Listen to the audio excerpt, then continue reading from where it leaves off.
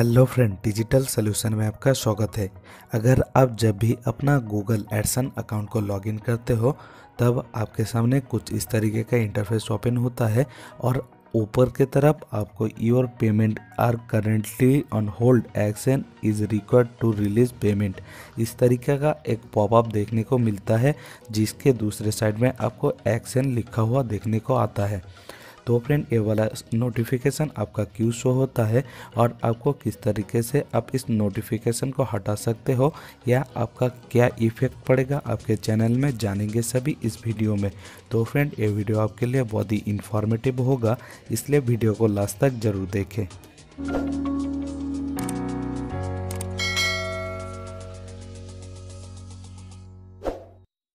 Friend, आपके Google AdSense account में भी ये वाला पॉपअप शो कर रहा है तो फ्रेंड, आपके गूगल एडसन में कोई भी इफ़ेक्ट नहीं पड़ेगा, क्योंकि ये वाला पॉपअप आपका तभी शो करता है जब आपके गूगल एडसन अकाउंट में हंड्रेड डॉलर कंप्लीट हो जाता है और आप पेमेंट नहीं लेते हो, क्योंकि आपने पेमेंट नहीं लिया है, इसलिए आपका पेमेंट होल्ड होता है, इसी कारण से आपके सामने ये वाला पॉपअप शो करता है।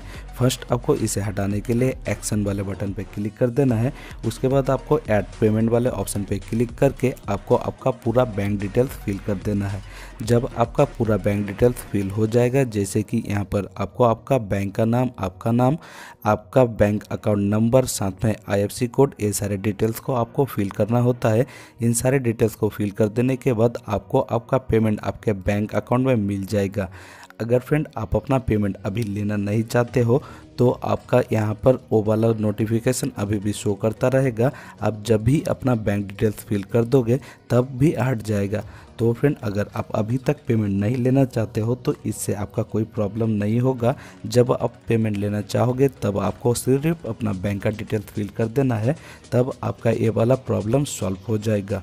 तो फ्रेंड इससे रिलेटेड जानकारी आपको ज़रा भी इन्फॉर्मेटिव लगा हो तो वीडियो को ज़रूर एक लाइक कर देना। मुझे सपोर्ट करने के लिए मेरे चैनल को ज़रूर सब्सक्राइब करना। और से मुलाकात होगी नेक्स्ट वीडियो में। तब तक के लिए बाय बाय